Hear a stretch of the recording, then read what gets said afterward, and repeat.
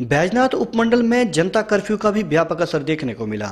यहाँ तक कि आवश्यक वस्तुओं की दुकानें जैसे मेडिकल स्टोर तक इस समय पूरे बंद रहे। आसपास के गाँवों में भी पूरी तरह सन्नाटा छाया रहा और कोई भी वाहन तथा व्यक्ति सड़क पर नज़र नहीं आया। प्रधानमंत्री नरेंद्र मोदी के कोरोना वायरस के दृष्टिगत जनता कर्फ्यू को लेकर जनता ने भरपूर सजगता दिखाई और समूचे बैजनाथ उपमंडल में कहीं भी कोई भी दुकान, व्यवसायिक प्रतिष्ठान रेडी फेडी तक नहीं खुली। बैजनाथ व पपरोला बाज़ार में सभी मेडिकल स्टोर भी पूर्ण तरह बंद नज़र आए। बैजनाथ बाज़ार में हालाँकि एक मेडिकल स्टोर ज़रूर खुला था। उपमंडल के दूसरे क्षेत्रों से आई खबरों के मुताबिक सभी गाँव व कस्बों में पूर्ण तरह बंद रहा।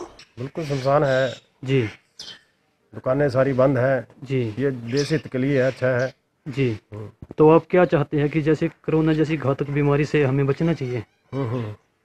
धन्यवाद सर। अ, मैं तो सबसे पहले ये कहना चाहता हूँ कि मैं प्रधानमंत्री नरेंद्र मोदी जी का आदरणीय नरेंद्र मोदी जी का बहुत जी। बहुत धन्यवाद करना चाहता हूँ।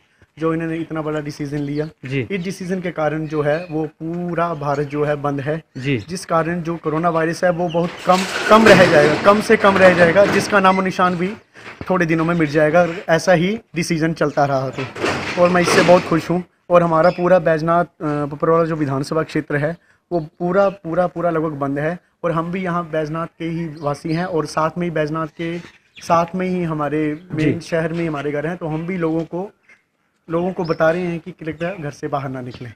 इसलिए हम भी सड़क पे थोड़ी थोड़ी देर बाद निकल रहे हैं। धन्यवाद सर। वो आप भी सहयोग कर रहे हैं पुलिस हाँ का सहयोग कर रहे हाँ हैं। तो बहुत अच्छा कार्य जो है आप कर रहे हैं। पुलिस प्रशासन जो है वो भी बहुत बहुत अच्छा है। वो भी थोड़ी थोड़ी देर के बाद बैजनाथ और पपरोला में आके चक्कर लगा रहा है कि कोई बंदा बाहर ना निकले।